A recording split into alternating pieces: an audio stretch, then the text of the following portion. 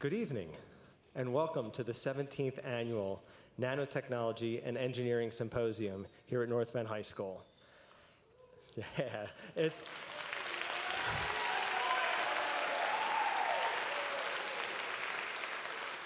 We are so excited for you to be here tonight to take a look at the work that the students have been doing this year.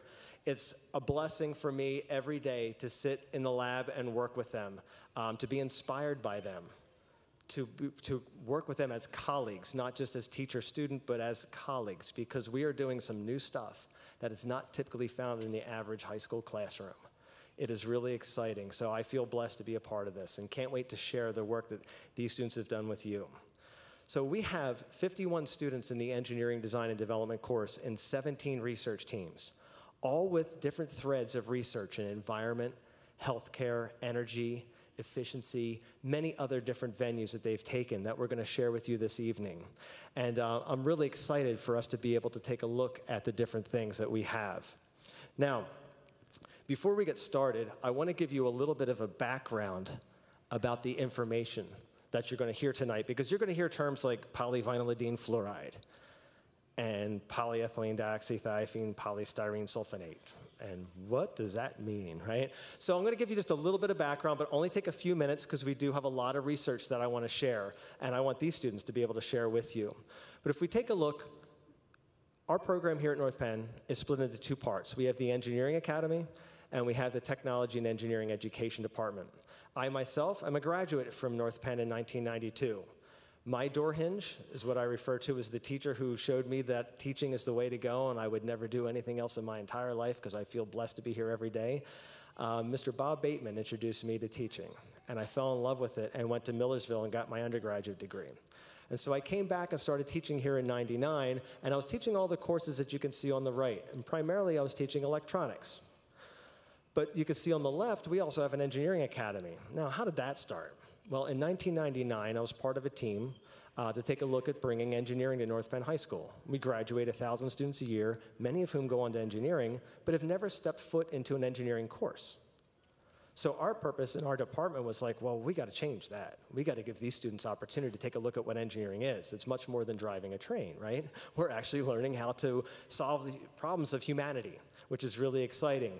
And so you can see on the right-hand side the eight different courses that we offer now in our engineering academy, and on the left-hand side all the different clubs and activities that we also run here. Because our program is all about opening doors for our students. I referred to Mr. Bob Bateman as a teacher my senior year, who I call my door hinge. And my purpose on this planet is to be a door hinge for your children, my students.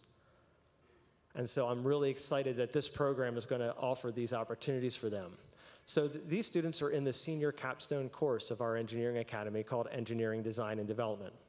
In EDD, they take a look at a six-step engineering design process. Some universities use more, we use um, six steps, and each one goes through defining what the problem is all the way down to presenting. So if you look at step six, that's what these guys are going to be doing this evening, which I'm really excited about. So when I take a look at scientists discover the world that is, engineers create the world that has never been created before. And you're going to hear a lot of new endeavors being taken today. These students are riding the edge of engineering, and I get to take a ride with them, which is so exciting. So my first introduction to nanotechnology, because it's like, all right, we have engineering, but where did nanotechnology at North Penn come from? Well, first thing is we're the only high school that I know of that's doing this type of research. We're very lucky to have the experiences that we've had. And I signed up for a summer research program in 2003 um, called Research Experience for Teachers at Drexel University. I worked with Dr. Frank Ko, who is now at the University of British Columbia, and he introduced me into nanotechnology. And he shared with me this paper. He's like, Mike, read this paper. We're going to talk about this when you come in. And I read it and went, uh oh. I had no clue what anything meant.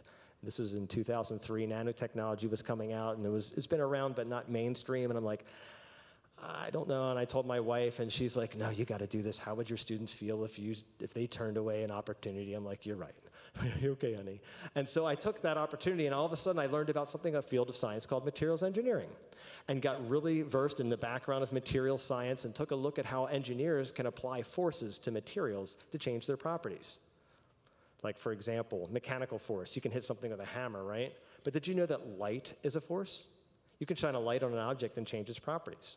Take a look at what happens when you're out in the sun too long, and you get a skin burn, right? That's from the sun. It's light energy, and it's an energy traveling in a specific type of waveform. So these students are learning how to apply forces to materials to change them. And when we try new properties and new materials and new forces, we come up with new novel ways, which ties in the next part of our work, and that's in the nanotechnology side. Because not only do we apply forces to materials, but we change the materials that we apply the forces to. Because now, when you make something smaller, it behaves differently, completely. All of a sudden, its melting temperature changes, its color changes.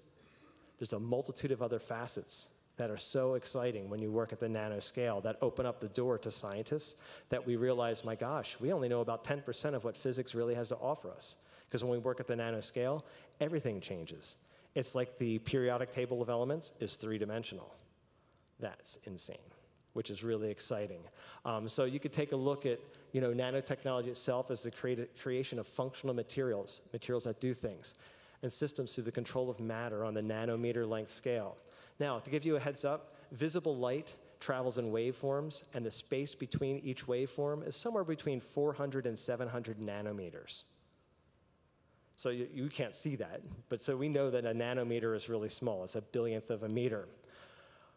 So you could take a look at various different things. Even a, a red blood cell is uh, three to 5,000 nanometers.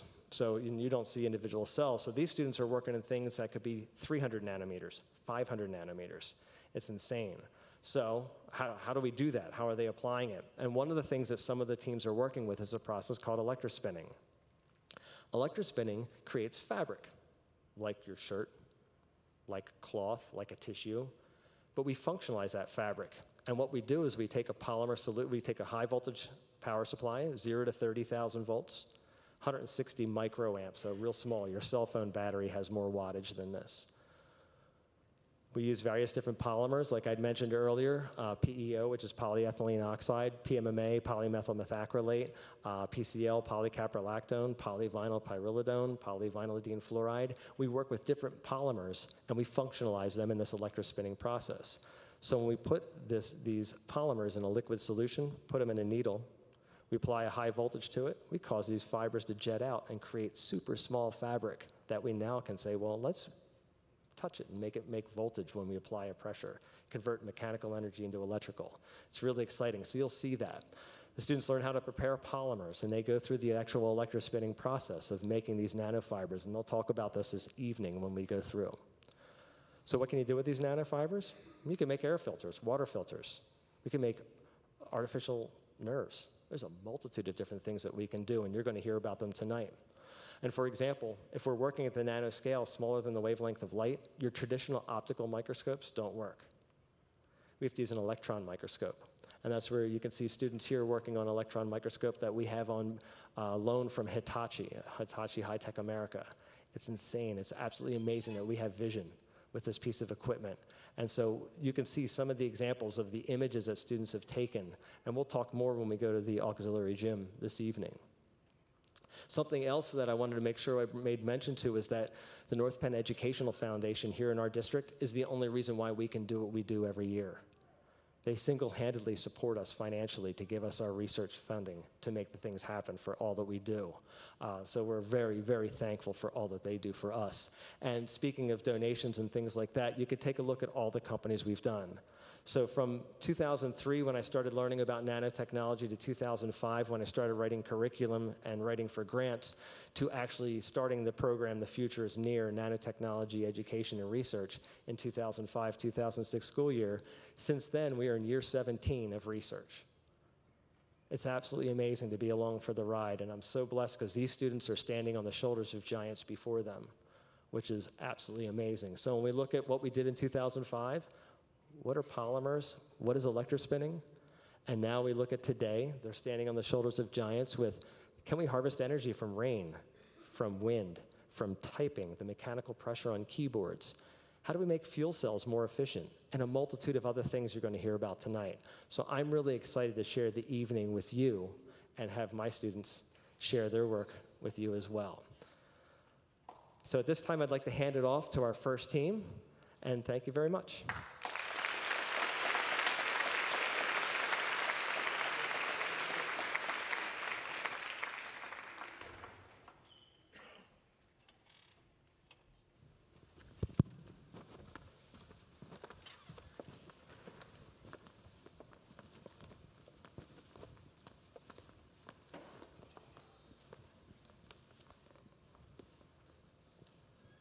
Thank you, Mr. Boyer, for the wonderful introduction. My name is Owen Marcus, I'm Cody Furshauer. And I'm Jake Sparrow. and we are Polycable Industries. Cabling is used all around the world in major industries, but even though it's common, it has many shortcomings. One of them being corrosion. Though cabling is produced with a galvanized coating, making it weatherproof, that coating will eventually wear off, leading to the cable to corrode. Another issue is microfractures. Microfractures are not much of a problem. They occur on the outer wires, but if they occur on a core wire, it could lead to the wire decreasing about 20% in structural integrity. One of the more common failures is bird caging. Bird caging occurs when the outer wires of the cable itself twist against the grain of it. This will lead to the rope failing. To surpass some of these shortcomings, we decided to do research on plenty of materials. We found that ultra high molecular weight polyethylene, specifically Dyneema, was our best option. Unfortunately, we couldn't test this due to its caustic natures and expense. Therefore, we decided to electrospin polyethylene oxide. We chose polyethylene oxide because it shared many characteristics with other high strength polymers. Now, instead of using a typical collection plate, we decided to use a large rotating disc, which would ultimately produce longer and more aligned polymer strands. After we would electrospin, we would then carefully peel off the polymer from our disc and we would store it away for later analysis. After this, we would then use the scanning electron microscope in order to analyze the alignment of the fibers as well as other unique characteristics of each spin. The basis of our research was to increase tensile strength of polymers. But first, we need to create a foundation for our testing so it could be replicable. As you can see here, we have two spins, spin 1 and spin 7, and under the SEM, they proved to be very similar. Our first variable that we wanted to change was the distance from our syringe pump to the collection plate. As you can see, our 10 centimeter spin was a lot more congealed and messy, making it more of a uh, less wanted spin. As you can see, our 12 centimeter spin came out to be very aligned and separated. Okay, so to, con- to continue our research, we then moved to the Mark 10 tensile tester. This machine's used to measure the strength and tensile properties of each polymer. So for our research, we would put our polymers into the C-clamps of the Mark 10 and use preset testing parameters to run our polymers until they would fail. So as you can see, these are the graphs that we got from our Mark 10. We have an 8 centimeter test, a 10 centimeter test, and a 12 centimeter test. So as you can see, our 8 centimeter test did the best with producing a max load capacity of 1.9 newtons while only weighing 0.005 grams. If we had more time to experiment, we would spin with a multitude of different polymers and or try and mix them. We'd also want to use different layers to see if we could prevent corrosion. We also would like to try different types of collection plates. And we, will, we would want to use different techniques such as braiding in order to obtain the maximum strength. Thank you for your time. Off to Aquaflow.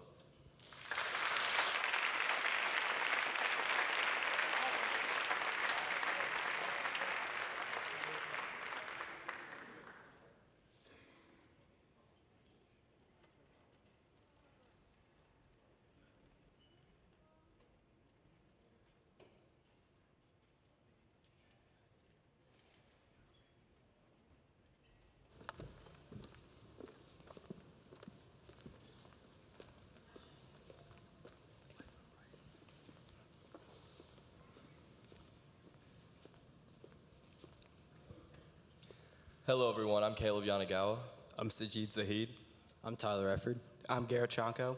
and we are Aquaflow Filtration. Nowadays, over 99% of America has access to clean water. But did you know that over one fourth of the total population does not have a sustainable access to a clean and drinkable water source? We at Aquaflow search for a way to produce low cost filters for underprivileged regions of the world. The Life Straw is a portable filter that allows the user to drink directly from a contaminated water source. The picture on the left shows a cross section of the filter showing the fibers of the filter. And the picture on the right is an SEM image showing the pores of a singular fiber of the filter. The Vontron reverse osmosis membrane is efficient in removing particles and even heavy metals and minerals from water. The picture in the bottom left shows the wound up layers of the filter, and the picture on the right shows the pores of the main filtration layer. The three polymers that we chose were PCL, PMMA, and PVDF. We chose these polymers based off the strength and the individual spacing between these fibers. The first experiment we performed on these fibers was a contact angle test. This test would show us if these polymers were hydrophobic or hydrophilic.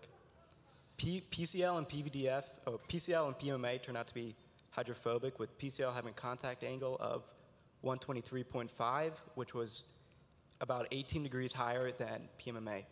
PVDF was the opposite, where instead of creating a, a bead on the top of the fiber, it absorbed the water. After the hydrophobicity test, we were able to spin some polymers on an aluminum foil or aluminum screen. Uh, with doing so, the P- PCL was in a grid-like form, the PMMA was in a spiderweb form, and the PVDF was in a uh, was in like that form because the water on top was not sticking with the water. This is our device we have made and designed. Uh, we have found we have made a polymer holder to test the water and the turbidity of the water to see if it would clean from dirty to clean. With doing so, we've made a pump as well that will pump 0 to 5 psi for it to pump clean water.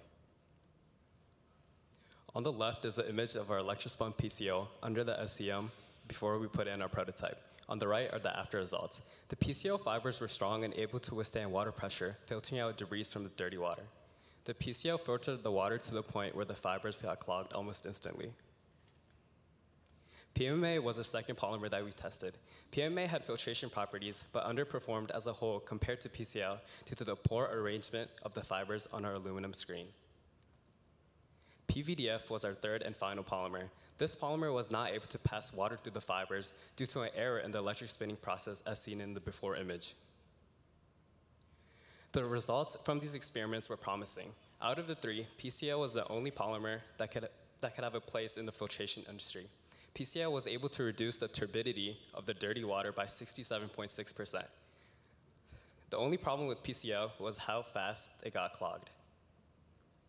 The next step in our development process would be making a multi-stage filter using the PCL polymer. We would use varying screen sizes to prevent the blockage that occurred in our initial testing. Thank you for your time, and off to the great gentlemen over at eForce.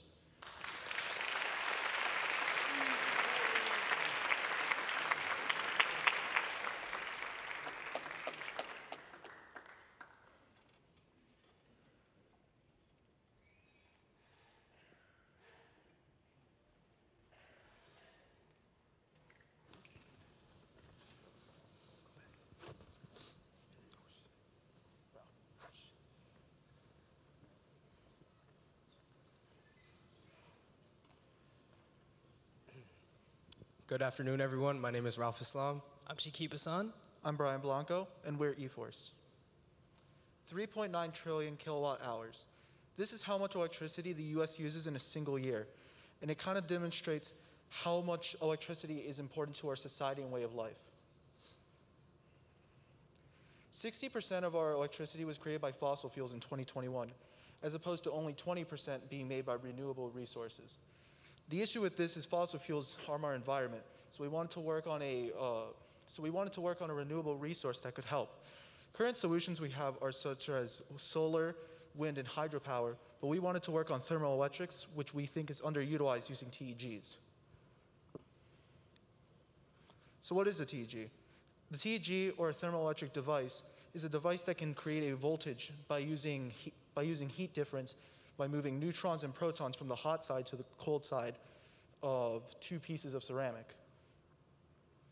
So for all of our experiments, we used a heatsink and a cooling fan to cool the one side. On the other side was a resistor bank was, that was our added heat source. And in between the TEG and the resistors is where we placed our added polymer to help the efficiency of the TEG. The polymer we chose was polyvinyl pyrrolidone because of its high melting point and large surface area. We also created two solutions with copper and diamond at 20%. We collected our data through Vernier sensors, collecting the hot and cold side temperature, the temperature difference, and uh, the voltage generated out the tank. We started off with the basic characterization of the TEG to understand its limits. We then used the polymer PVP and tested both sides, side A and side B. We were able to get higher results on side A. Side B did not give us great results as it acted as a heat blanket, it didn't let the heat transfer. We then incorporated PVP with copper nanoparticles and were also able to get great results on side A, but again, on side B, it acted as a thermal blanket. Our final experiment was PVP incorporated with diamond nanoparticles, and unfortunately, we did not get as high results as we expected. Overall, our, best experiment was PVP incorporated with copper nanoparticles. We were able to get a temperature difference of 111 degrees Celsius and a power out of 11.9 milliwatts. So if we had more time, we would have enjoyed to have done more experiments.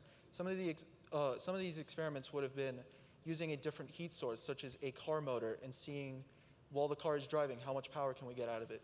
Using different polymers or nanoparticles that we could use to see how they would react to heat and how it would transfer more, about, um, if it would transfer better.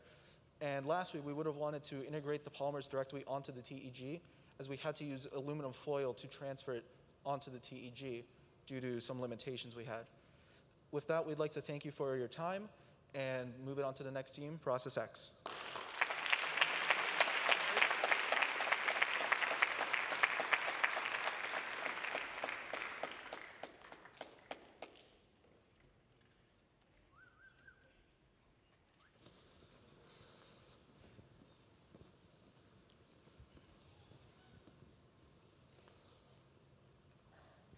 Good evening, ladies and gentlemen. My name is Scott Klein, I'm Tim Schwar. And I'm Ryan Wolliver. and we are Process X. Every person that has used a computing device before has seen a loading screen like this or something similar to this. Imagine if you never had to see this again while also increasing the overall output of your device. It is no secret that this is an issue we face. However, most people don't realize that the problem stems from the thermal interface material. Thermal interface materials, otherwise known as TIMs, are a substance that goes between the processor and the respective heatsink in order to transfer the heat effectively. This year, our team researched uh, the problem of computers overheating and enduring crippling damage due to the poor TIMs. Current solutions to TIMs have been thermal pads and graphite, graphite pads, and a substance known as thermal paste, as shown on the picture on the left. It's being applied to the processor, and then the heatsink gets placed on top of that, and the substance thermal paste transfers the heat in between. Our solution was to create TIM out of a polymer called polyvinyl pyrrolidone, or PVP for short. We dissolved the PVP in deionized water and added various different my, uh, nanoparticles to improve the thermal conductivity. We then electrospun this solution to create our own TIM. On the left is our TIM applied to a heatsink, and on the right is an image of our nanofibers under the SEM. The white patches, as seen in the image, are copper nanoparticles encased in PVP solution. We then ran a computer and in the operating system checked to see if the processor temperatures were safe enough for us to run the computer without damaging the processor. The image on the left with 89 degrees Celsius is an example of unsafe temperatures that could damage the processor. And the image on the right is the two programs we used. One being Cinebench is what we use to throttle the processors to maximum loadage. And the image, I mean, the program on the right is MSI Afterburner, which we use to plot the temperature over time. Here are the baseline tests we ran, those being no thermal interface material and the graphite pad. We are comparing the rate of change of temperature, which is represented by the slope of the best fit line. Basically, the lower the slope, the better. This graph shows our tests compared to the baselines. We also ran pure PVP fibers, however, they acted as a blanket and trapped heat on the processor, which made it too hot to run anything safely. We then moved on to copper additives, which performed better than the graphite pad. However, when we were electrospinning, we were unable to record the time that we electrospun for, which makes the relative thickness unknown. This became an issue when we moved into diamond, which performed shockingly bad, which we believe is due to the layer being too thin. If we had more time, we would rerun our copper experiment to find the time that we electrospun for. We would then use that time with the diamond particles to see how the thickness affected our initial diamond test. And then we would test our solution in applications outside of just processors. Thank you for your time, and now on to solar transparency.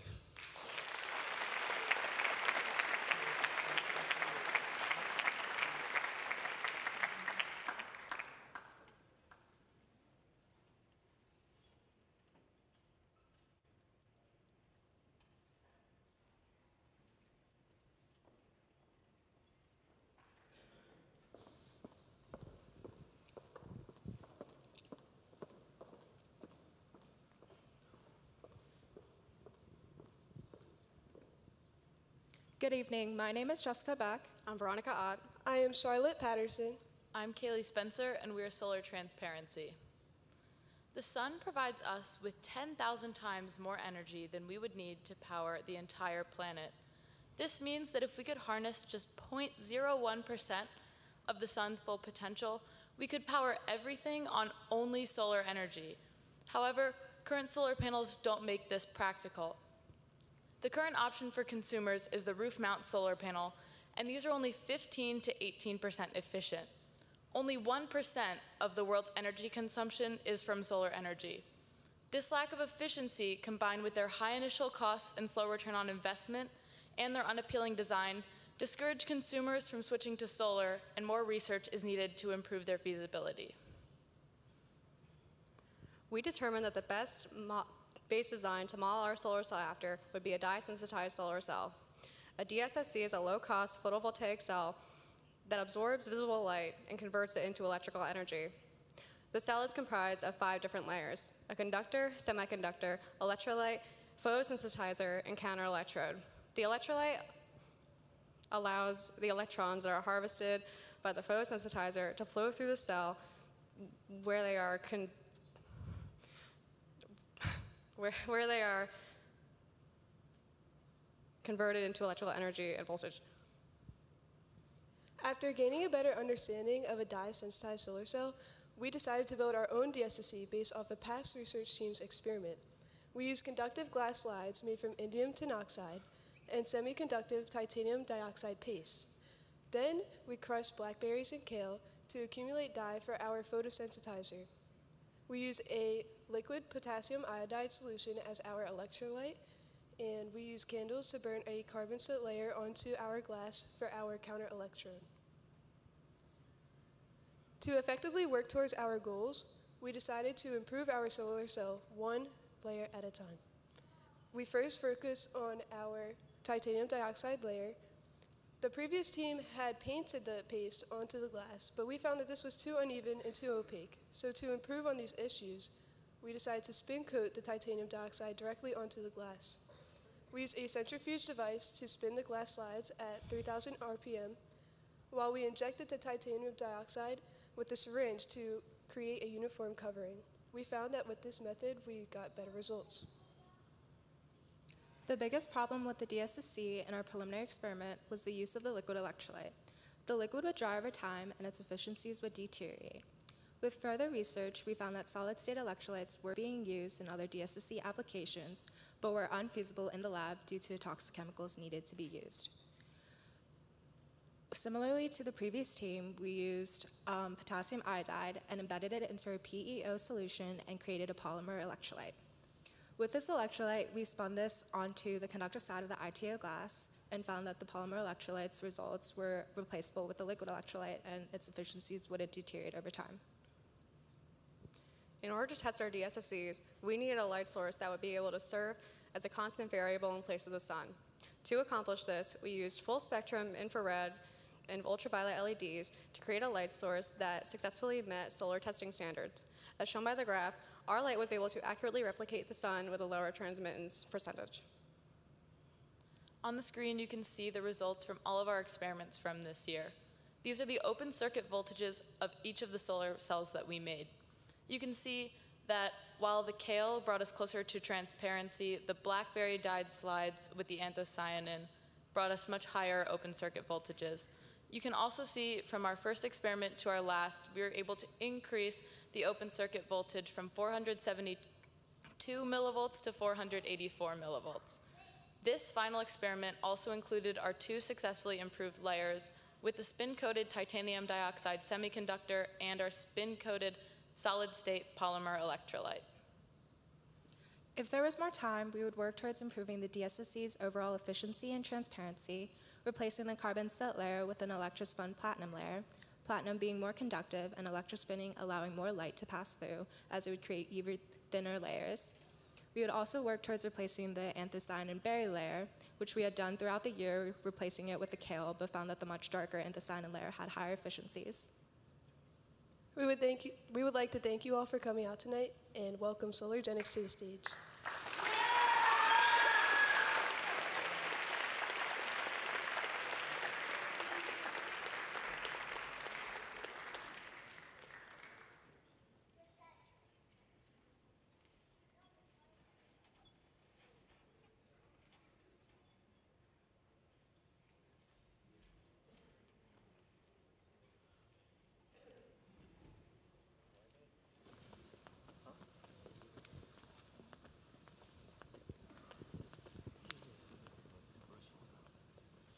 Good evening, ladies and gentlemen. I'm Mohammed Hogue. I'm Justin Yothers. I'm Nicholas DiMaria. And I'm Aiden Hoy. And we are Solargenics. To start off, how many of you have a vehicle? Can I see a show of hands? That's a lot of vehicles just alone in this room. Now, keeping this in mind, there's estimated to be 1,450,000,000 vehicles in the world. Now, imagine if every single vehicle was able to capture the sun's wasted energy, pushing back the energy to power your homes around the country.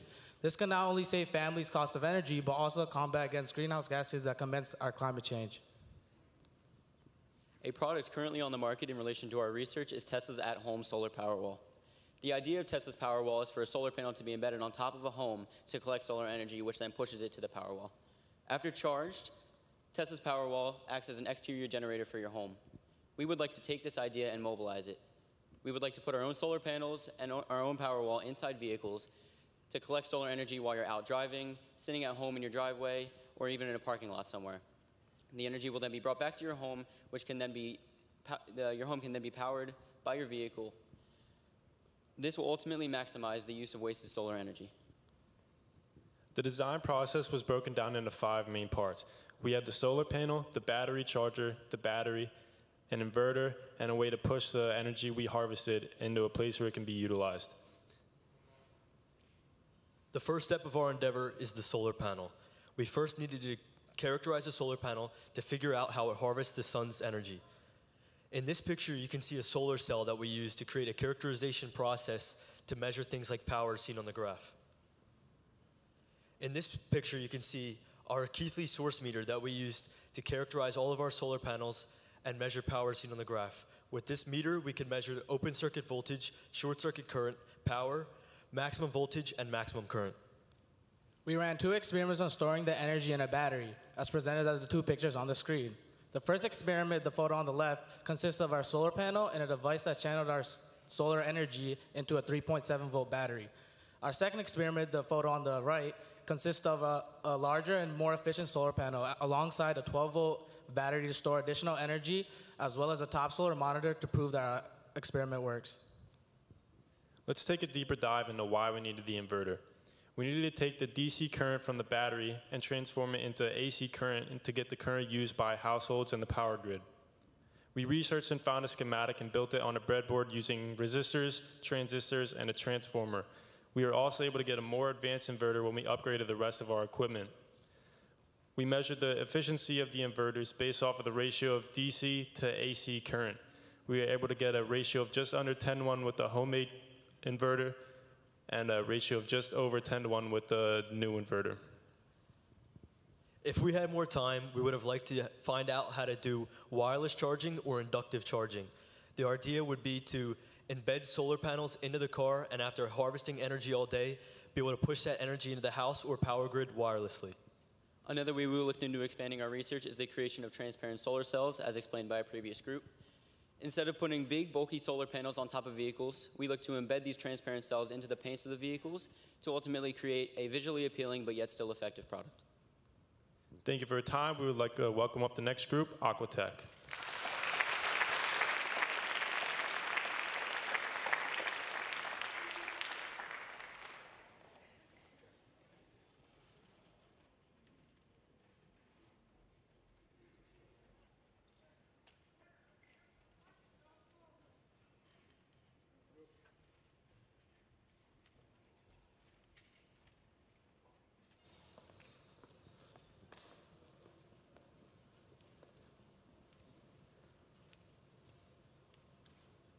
Good evening. My name is Logan Tripler. And I'm Thomas Samolowicz. And we're Aquatech. 880 million people worldwide do not have access to clean drinking water. And of those 880 million, 3.6 million die of waterborne illnesses every year. This is a problem because current solutions are too expensive and inaccessible. So we needed to create a new solution that was cheap and efficient. The first thing we wanted to learn was how to electrospin, because we originally had the idea of electrospinning an antibacterial fiber for our filter. We ended up not having enough time for this. At the start of our research, Mr. Boyer had bought us the zero water filters, which we used to compare to our own materials and data. One of the first things we did with a zero water filter is we we analyzed its components and compared it to uh, sediments that we plan to use for our own filters. We chose six different sediments for our filter. We chose diatomaceous earth, activated charcoal, fine and large grain sand, and fine and large grain gravels. We chose this, uh, these sediments because of their physical and chemical properties. We ended up creating three different designs for our filter, with the first two not working at all and polluting our samples, and the third design we landed on did work in filtering water. To test the efficiency of our water, we poured uh, contaminated water, which was water mixed with soil in our filter. On the left is the contaminated water, and on the right is the water after being filtered. We measured our results in four different ways, with the first one being turbidity. And turbidity is a measurement of water clarity, which is measured in nephelometric turbidity units. As you can see on the graphs, after being filtered, the tur uh, turbidity rating dropped by about 45 NTUs. Our next test was salinity, a measurement of sodium content. This salinity did not change after filtration. Another test we did was pH. We opted to use an electric pH sensor rather than pH strips because after trying pH strips, we found that they were inaccurate. Our solution actually became more basic after filtration, going from about six to increasing to eight. Our final test was on TDS, a measurement of total dissolved solids. The TDS actually increased after filtration, which was a problem because we're aiming for a lower number. In conclusion, we cannot reach a conclusion because our TDS and salinity levels were not high enough to uh, the dr uh, safe drinking standard. Towards the end of our research, we started analyzing each layer of our filter in hopes of finding the layer that was the caused the problem for TDS. So if we had more time, we would like to replace that layer and run the test again. Another thing we wanted to try was what I mentioned earlier, which was uh, electrospinning our own antibacterial fibers and creating polymer fibers to separate the layers. Thank you for your time, and if you'd like to hear more, you can come meet us in the auxiliary gym. The, uh, next up's firepower.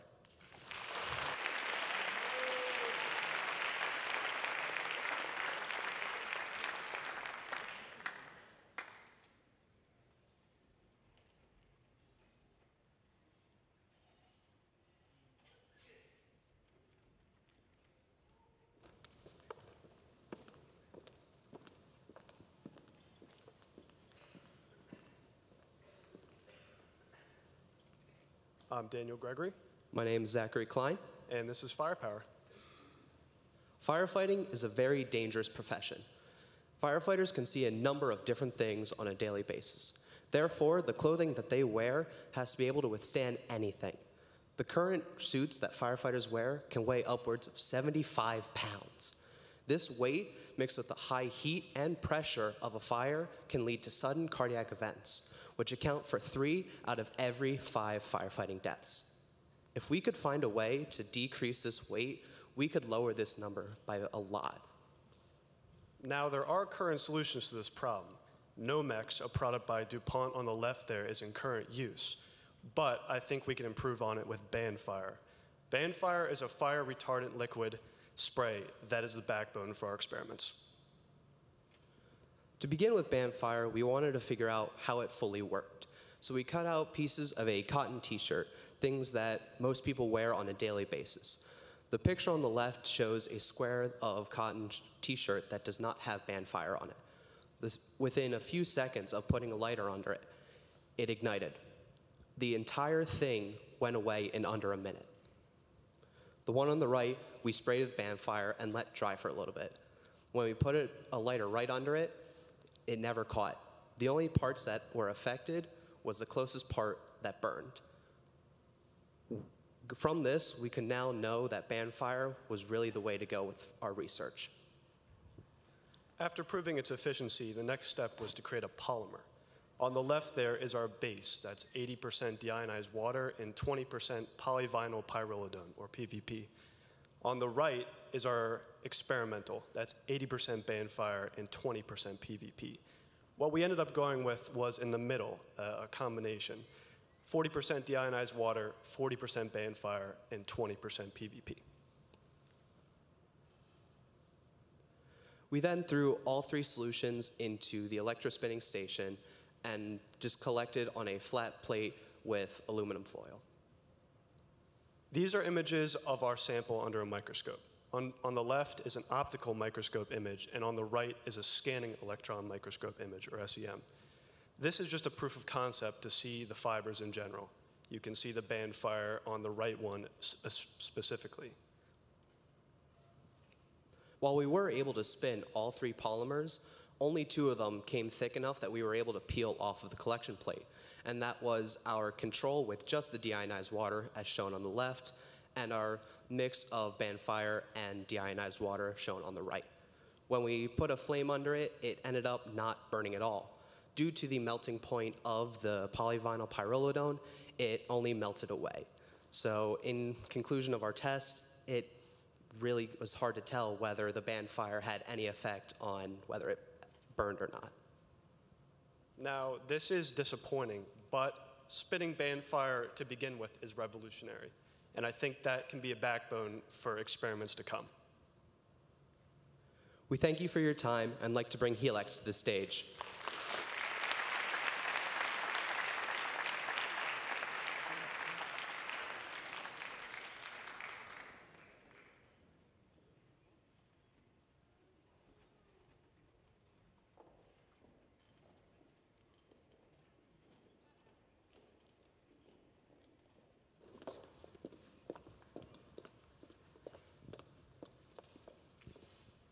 Ladies and gentlemen, thank you all for being here. My name is Jada Beach. I'm Emmy Allen. And I'm Nicole Lostino. We are Helix, and we are very excited to share our findings with you. Now, vaccines have been around for several generations, and especially in the previous years, it has caused quite the controversy. But what if I told you that instead of getting a yearly vaccine, we could actually just get a one and done shot that eradicates the virus entirely? In the last century, scientific research has shown that viruses and the mutations can be controlled properly with vaccines. Yet COVID 19 has been an outlier of all viruses that have ever existed. It continues to mutate and disregard the effects of the Pfizer and Moderna vaccines. These graphs here show the amount of people that were vaccinated with the COVID 19 vaccine and the amount that were vaccinated and still got COVID. Besides vaccines, there are other solutions being further explored to help with the prevention of disease. With the advance of nanotechnology, it has been incorporated into the medical field. Currently, certain nanoparticles are used in drug and vaccine delivery. Also, nanoparticles have been getting involved with DNA research, with the goal being to either alter DNA or even destroy it. And this is where CRISPR enzyme comes into play. Specifically, CRISPR Cas13 was an enzyme used to destroy viral DNA and prevent it from spreading. CRISPR can be defined as a segment of DNA that contains repetitions of base sequences that can be used to edit the base pair of a gene. Within the science and engineering aspect of our research, we decided to use gel electrophoresis. Now, gel electrophoresis is the process of separating and analyzing DNA. We then wanted to implement nanoparticles into this process, and then we begin to analyze the difference between our control and our experiment. Now, to really understand what is going on, we have to then see how the fragments travel. So to understand, we have the shorter fragments and the longer fragments. The shorter fragments travel farther, and then the longer fragments travel shorter due to the density difference. And then we also have to understand that the more fragments that travel to the spe specific location, the bands will end up being thicker. And then we can now look at the mutations, which would be the difference between the length, the distance, and the thickness of the bands. The picture on the left is all the materials needed for us to make our own gels for this experiment. This experiment is possible because DNA is negatively charged.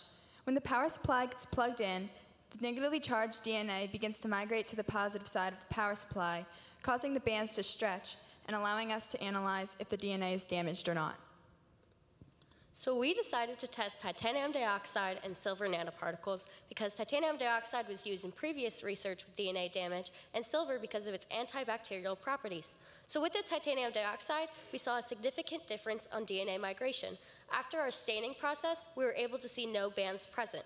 This could also be due to the fact that we used a UV light on the gel because titanium dioxide has a reaction with UV light, and we did this in hope to increase the DNA damage. And then with silver, it had the opposite effect. We still saw all the same bands present, and they traveled roughly to the same location. The only difference was they were slightly lighter, but we concluded that because after adding nanoparticles, the DNA sample density changed.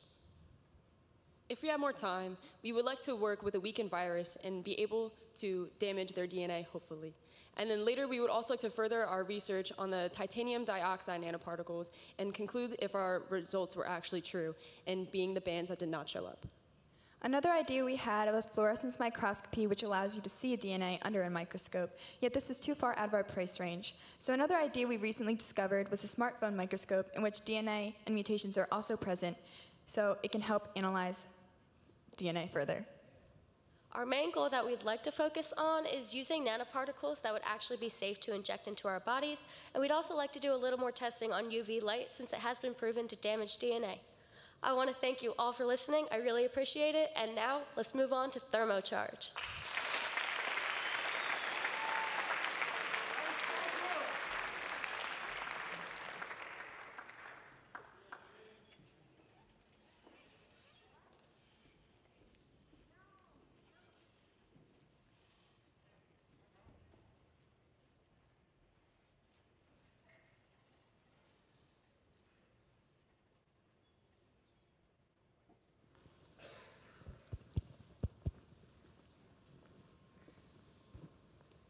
Good evening. I'm Jack Baylor. I'm Brendan Engling. I'm Liam Barron.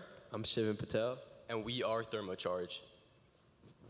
As you were on your way here today, you may have noticed that gas is now around 4.90 a gallon. What if I were to tell you that this is not true, but instead the actual price of gasoline is near 16.30 a gallon? Now, the reason for this drastic price difference is because the average automobile is only 30% efficient. This means that only 30% of the fuel in your car is turned into usable energy. Much of the remaining 70% of that energy is dissipated as heat. As you can see in this image, this is the car's exhaust manifold, which can reach temperatures as high as 800 degrees Celsius. Currently, all this thermal energy is going to waste, but what if there's a way we could harness it and return it back to the vehicle? This is where the thermoelectric generator, or the TEG, comes in. The TEG works by creating an electrical output through a temperature difference by utilizing semiconductor materials, the positive P-type and the negative N-type. Our team plans to utilize multiple TEGs onto a hot car exhaust to recover some of the wasted heat energy and repurpose it back into the vehicle. To further understand these devices, our team took a deep dive into microscopy. With most of our samples being within the 500 to 1,000 micron range, the SEM seemed like overkill, but what really came through to shine was the EDS feature, which allowed us to capture images like these. What we're looking at here is the N-type material, the negatively charged material, as Shivan touched on earlier, bismuth telluride. This is negatively charged due to its electron structure, which makes up the first series of the link. And on the second series of the link is our p-type material, our positively charged bismuth selenide. This is positively charged due to the holes within its chemical structure and allows for electron transfer when heat is induced to in turn create electricity and power our modules. For our first experiment, our team wanted to design a way to characterize our TEGs. We achieved this by creating a breadboard circuit that integrated three 10 ohm resistors. After passing 10 volts through these resistors, we reached a max surface uh, temperature of 115 degrees Celsius. After placing our TEGs onto this hot surface, we yielded a max power output of only 44 milliwatts, proving that cooling was necessary for further testing. Now that we knew we could generate an output, our next step was implementation. We fabricated a rectangular steel pipe and fastened four TEGs to it to replicate a car's exhaust system. By wiring the TEGs in series and using an air-cooled system, we generated much more voltage than we did with any of our prior experiments. This, however, came with a problem. The temperature, the temperature difference was so high that it generated an electrical current that was too much for the TEGs to handle, shorting the components and rendering them useless. Our new goal was to maintain these high outputs, but also keep the TEGs in a functional range of sustainability.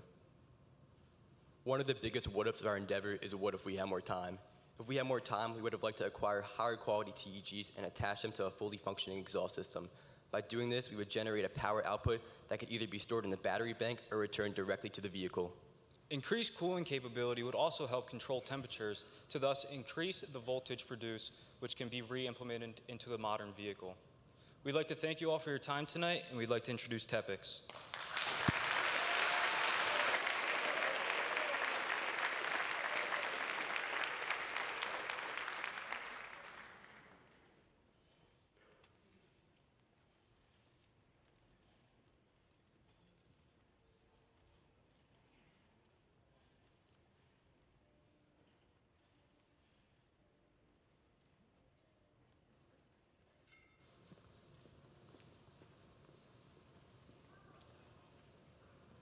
Good evening, everyone. My name is John Pfister.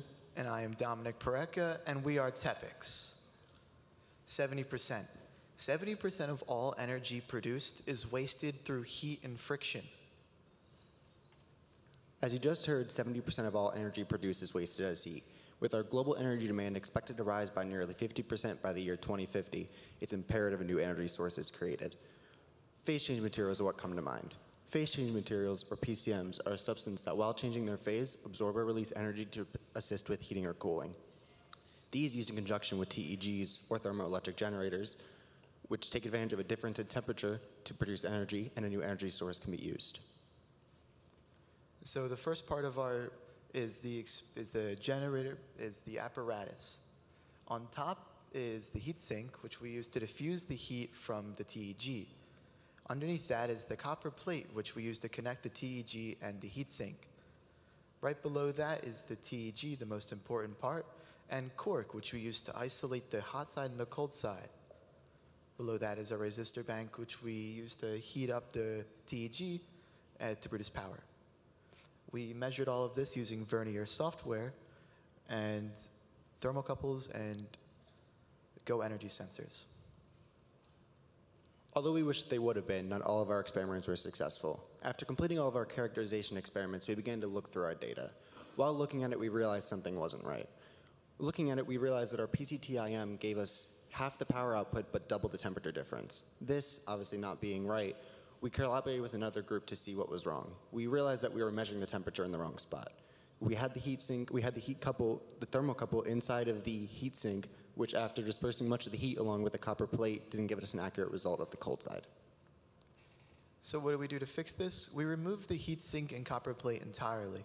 We hope that getting rid of the heat dispersing device would make it so that we have a more direct connection to the TEG, therefore getting more accurate results. These are the averages of our three TEG runs. On the left is showing time versus temperature, and on the right is time versus power. You can see that as time goes on and a temperature difference is created, that more power is output. This takes the previous two graphs and puts them at the top along with our PCTIM runs at the bottom. And this combines those previous four graphs into two graphs, with the left still showing time versus temperature. And you can see those dotted lines there with the PCTIM gave us a higher power, higher temperature output, but still the same temperature difference as the TEG, and yet gave us half the power output. These results being the same as our first set of experiments, we realized that this is our true solution. So further research must be done into why this is the result. So, if we had more time, we would like to test more phase change materials, more phase change interface materials, and run as many experiments as we possibly could. This way, we can get more accurate results and hopefully find the results we were looking for. Thank you for your time, and I'd like to pass it over to North Penn Thermoelectrics.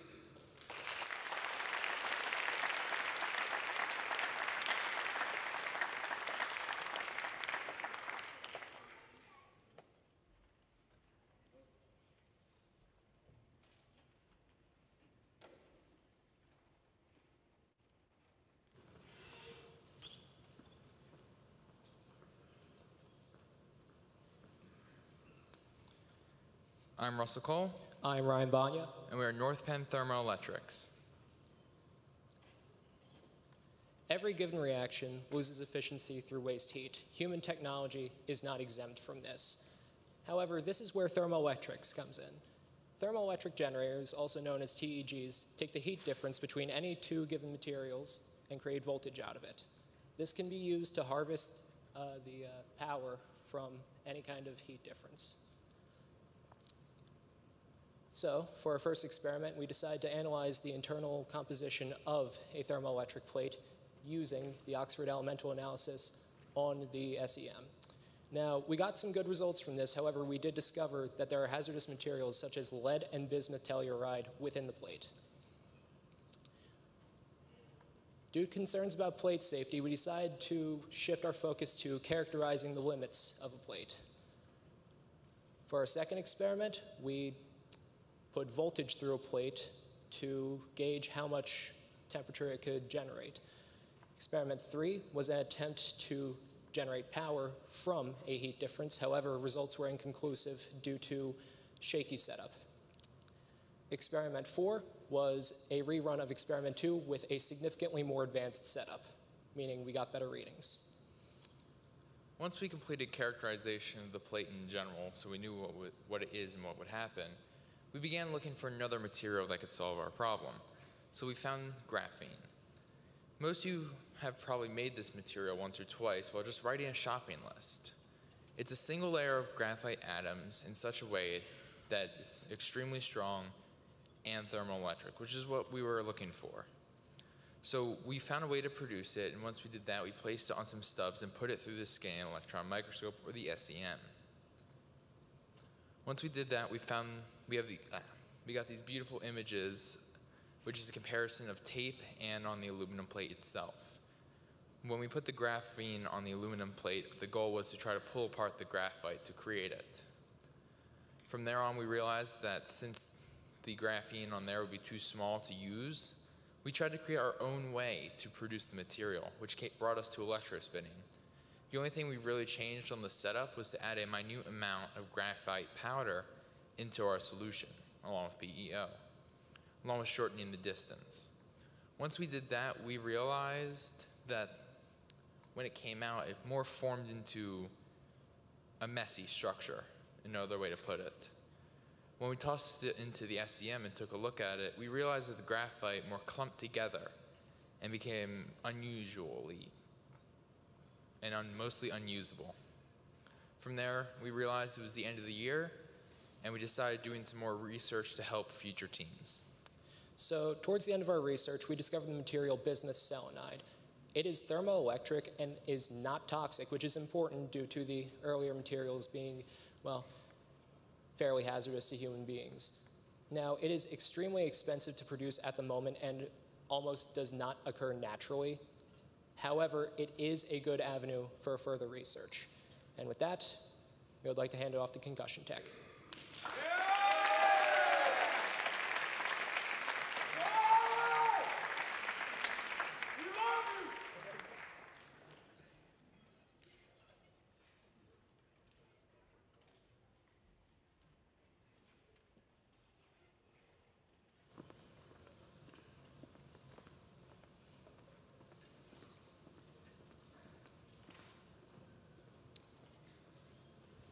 Good evening. I'm Alan Joby. And I'm Dev Vyas, and this is Concussion Tech.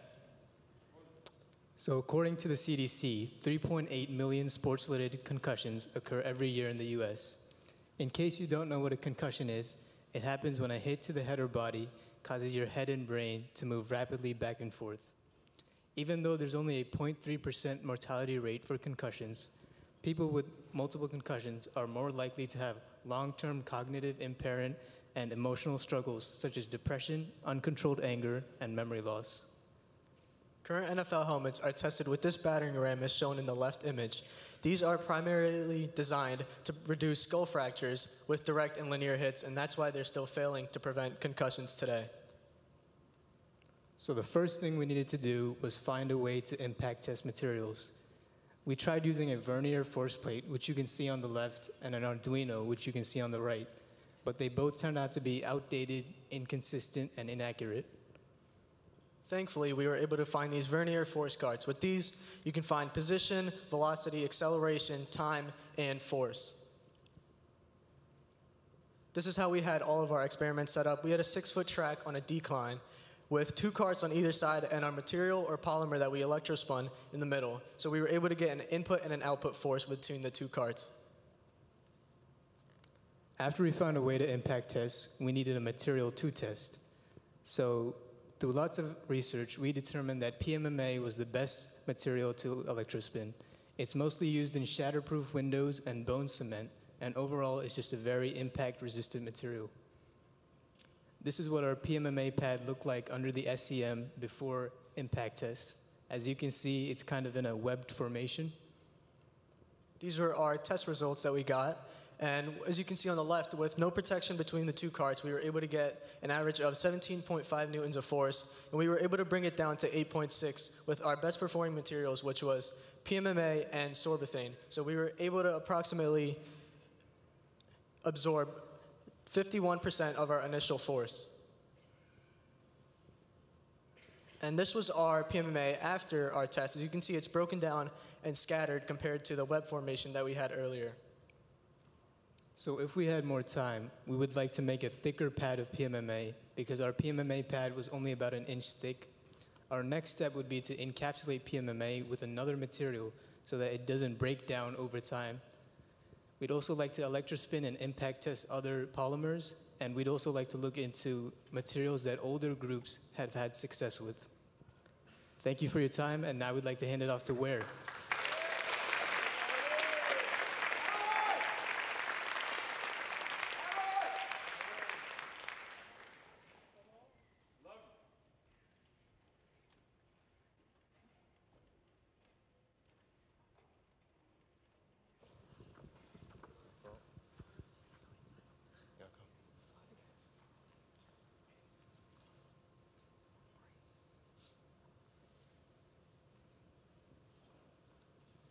Hello, my name is Jennifer Denning. And I'm Justin Kwok. And I'm Sanaf Thoda. We are and we're Ware. Ware. So currently, uh, prices for copper have been on the rise recently. On the left, is a graph from 1988 to 2021. There's been a peak of 100% increase in the copper prices. As you all know, copper prices, or copper in general, is deeply intertwined with our society and a key component for standard wires. Uh, our research is focused on trying to find like more effective uses for this or just completely re- replacing it. So some current uh, solutions is a team from MIT named Witricity. Uh, they discovered a technique called magnetic uh, resonance coupling, and that uh, allows them to magnetically or wireless, uh, wirelessly transfer electricity. And on the right here, there's a picture of more uh, frequent, recent endeavors they've been working on. Is a car battery charger through the floor wirelessly. All right, so how exactly does a magnetic resonance coupling works? It works using something called uh, alternating current, and this is created when the charge goes between positive and negative. That change in charge creates a magnetic field which allows you to transfer energy wirelessly, but the problem with this is that it's extremely inefficient. So our goal with this was to find the best ratio of coils. We did this by testing a 20, 30, and 40 coil combination through the transistor and corresponding receiver. And with this, we measured the LED output. This is how we primarily collected data. We connected a lux sensor to an Arduino board. Lux is a unit of light. It's used to measure how much light is in an exact area. And using this lux sensor, we could connect it to an LED, which was connected to the coil system. which would measure the amount of power running through that system. With the help of Mr. Daubert, we 3D printed a box to house our lux sensor. We did this because the lux sensor is extremely sensitive to changes in the environment, such as the light in the room that we were conducting the experiment in and us moving around doing the experiment, and this would discredit our data. So we did this just to control our experiment and make sure that our results were only from the LED output. As you see on the left, this is a close-up of how the inside of the box would work. The lid is taken off just for better clarity, but we would put it on just to remove any extraneous light. There's a set distance between where the LED would enter in the bottom and where the lux sensor is housed on the top. And we would, that of course controlled the amount of light that would travel along that distance. On the right, there is the whole setup of what our experiment looked like. There is a power source connected to a coil, which is transmitting power to another coil, uh, which is connected to an LED. That LED, of course, goes inside the box and uh, gives power, gives light to the lux sensor.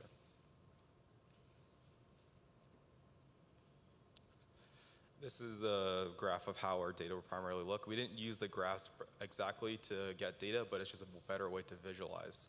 We use the output of the actual um, lux sensor, which would give us precise numerical values. And as you see, as soon as the LED was put in the lux sensor box, or it was the LED was turned on, it gave a sharp incline and then a relative plateau, where the value, the actual power, the um, the actual power of the coil will be shown.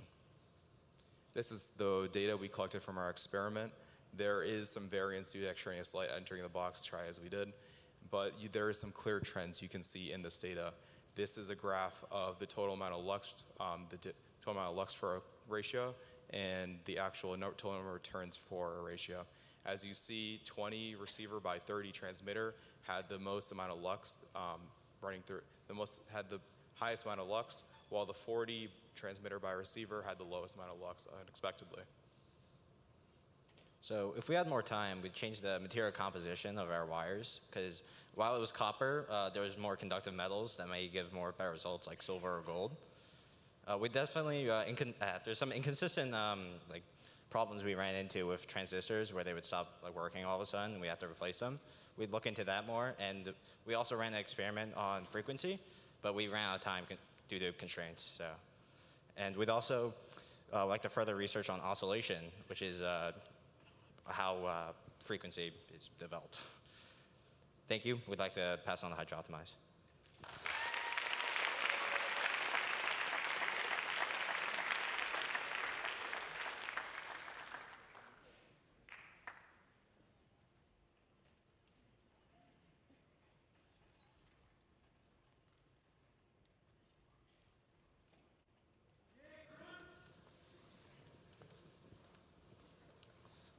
Hello, my name is Josh Platt. I'm Ethan Beck. And I'm Chris LaRosa, and we are Hydroptimize. Hydrogen has an extraordinary potential as a clean alternative fuel source, but it is rarely found by itself in diatomic form. Now, while its use does not result in carbon emissions, its extraction almost always comes from fossil fuels. Here on Earth, hydrogen is most commonly found in water, but only 0.1% of the world's hydrogen fuel comes from water.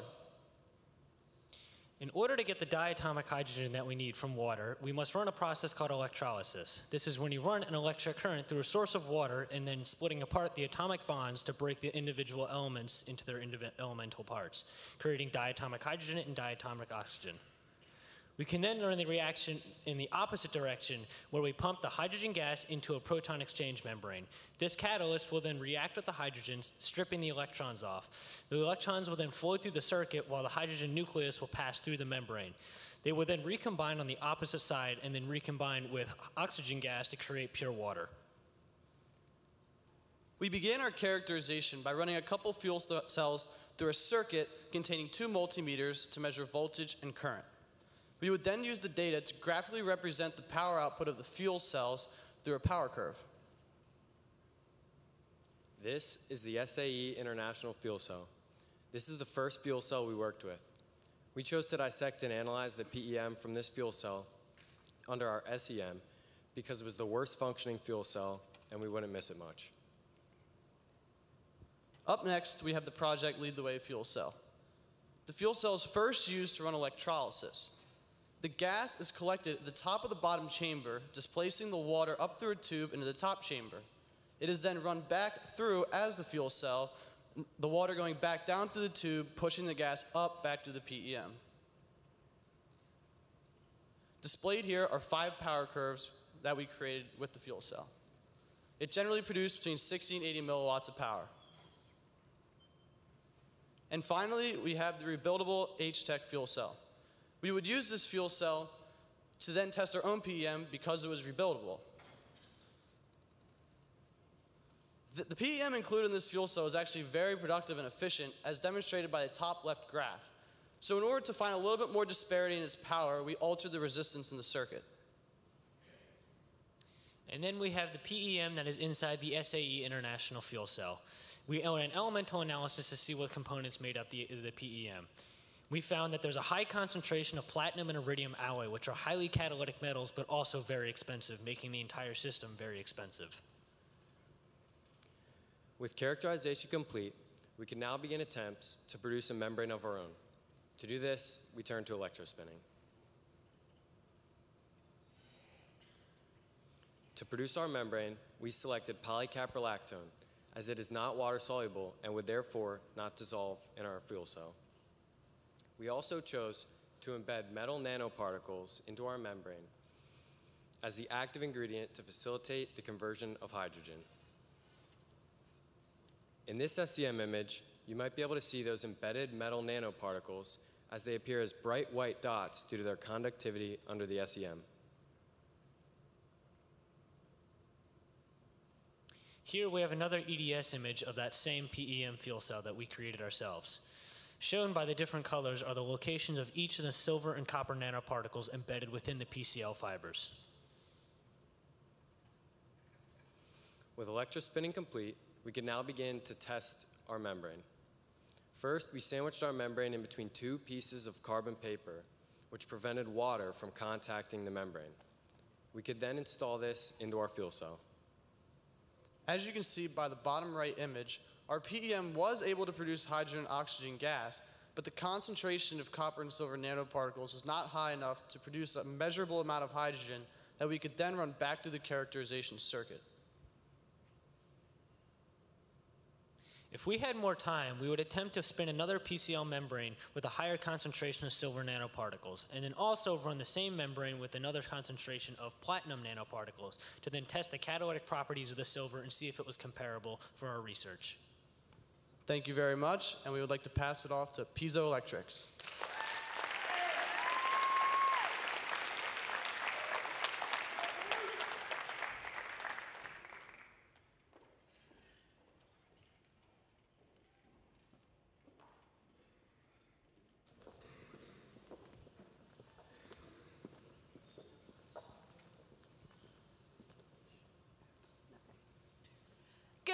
evening, folks. My name is Abigail Thornton, I'm Justin Norn. I'm Dylan Scher. I'm Greg Hartwig. and we are Piezoelectrics. So I have a question for the audience. By show of hands, who here has used a computer before? Did you know that the average person types about 200 characters per minute? Now, what if you can generate electricity through the tips of your fingers each time you press a key? Energy harvesting is taking the energy in an environment system and converting it into an electric power. Examples of this are solar, wind, thermoelectric, and piezoelectric energy. But what is piezoelectric energy? It's when you take the impact force or vibration of an object and convert it into an electrical charge. These pictures show our first time electrospinning. Electrospinning is a process we use to make the PVDF piezoelectric material.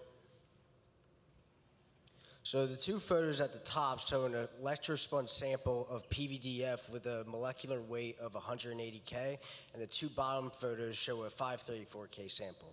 We decided to go with the 534K sample because it had a higher um, output through informal testing and it had much clearer SEM imaging.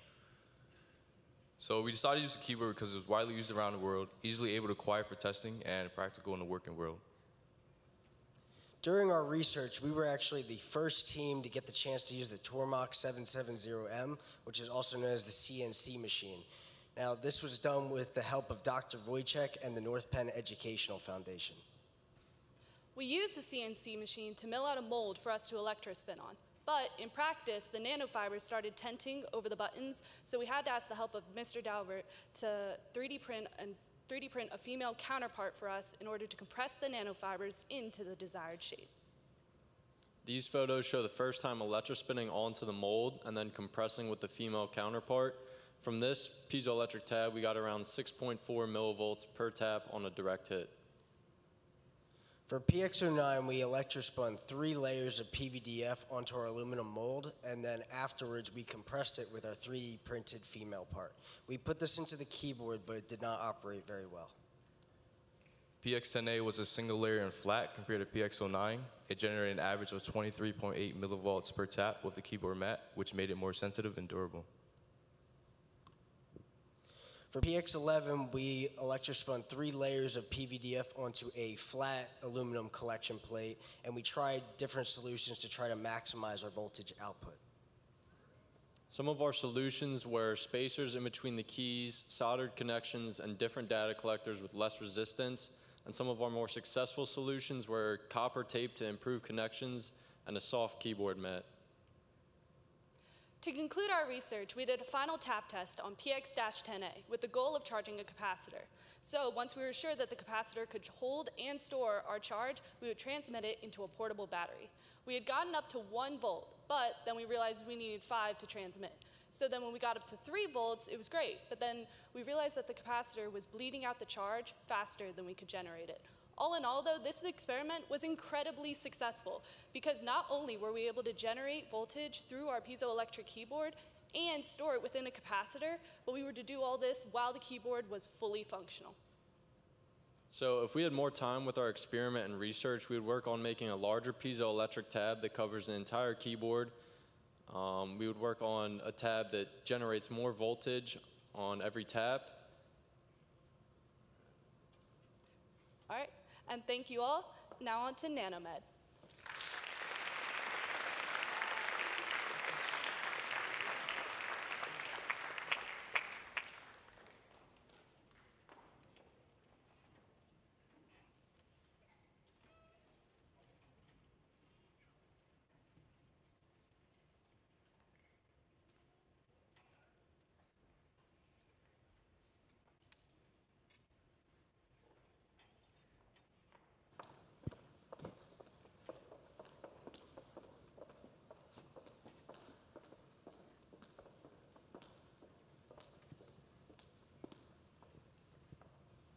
Hello, my name is Srini Diyartha, I'm Matthew Pentagon. And I'm Emily Blanchard.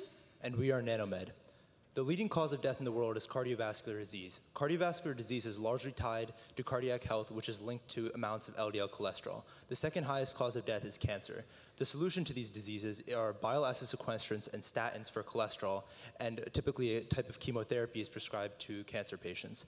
These both can cause severe side effects in, for specifically for statins and bile acid sequestrants. They can cause severe damage to the liver and kidneys, and chemotherapy can regularly regularly target uh, healthy cells, which can cause hair loss, nausea, and even death sometimes. Now, what if these medicines didn't target areas they weren't supposed to? They only targeted the areas where they were meant to be activated. That is the primary idea of targeted drug delivery and the focus of our research this year. To begin understanding targeted drug delivery, we repeated a past team's experiment which microencapsulated yeast and naproxen with sodium alginate and calcium chloride. The result of these experiments were these gel-like beads which contained yeast and naproxen respectively. To characterize our encapsulation, we used a Zeiss microscope in the SEM. We first took images of the individual, individual components we were looking for, yeast and naproxen, so we could later identify them within the final product. The image on the right is of a cut open one of the yeast beads we created. The darker spots we believe to be clumps of yeast cells. Here at a thousand times magnification, on the left you can see um, a glowing clump of yeast cells. On, while on the right, on a more zoomed out view, you can see how those um, glowing clumps are spread out through the surface of the bead. At first, we thought each individual yeast cell would be um, encapsulated in a shell of sodium alginate and calcium chloride. What we found instead that um, the yeast was dispersed throughout the larger bead. To test our encapsulation, we used a pH test.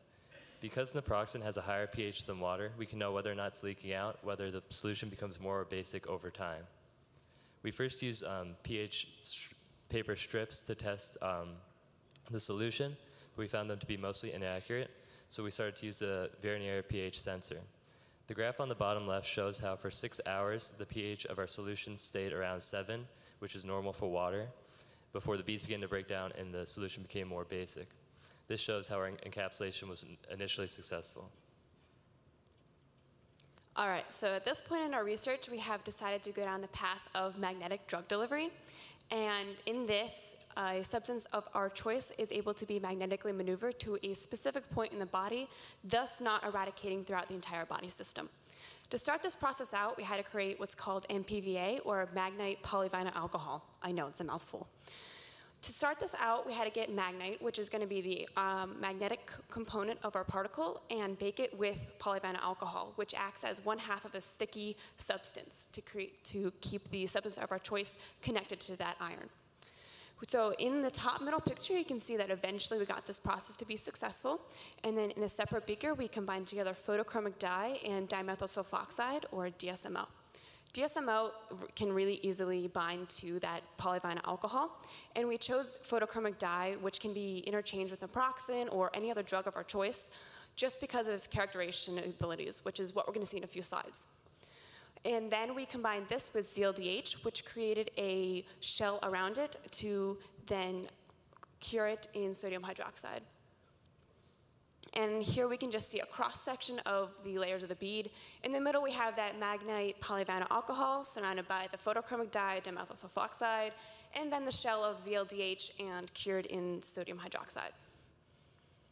In the end, our experiment was very successful after many renditions, as you can see in this video.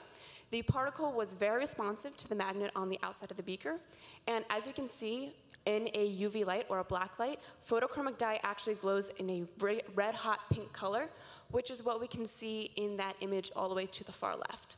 We can also see that the photochromic dye did not escape into the surrounding environment, which is really good because that means that the photochromic dye stayed in a bead. Throughout our last experiment, we, used, we took images using the Zeiss microscope and the SEM imaging device. In the middle, top middle image, you can see the nice sheets that were created when we baked the PVA with the magnetic nanoparticles. Those sheets are what interact with the dimethyl sulfoxide and the photochromic dye. In the rest of the SEM images, you can see the final product and see how the other chemicals build around the magnetic nanoparticle. In the images on the left, you can see the same phenomena, but in color. If we had more time, we would have repeated our final experiment with a more refined process while replacing the photochromic dye with naproxen to better fulfill our medicinal um, purpose. Uh, we would also look into release methods rather than just magnetic drug target targeting. I would like to thank you all for coming out and thank you for watching. We hope to see you in the auction in a few minutes. And please welcome Mr. Boyer back to the stage.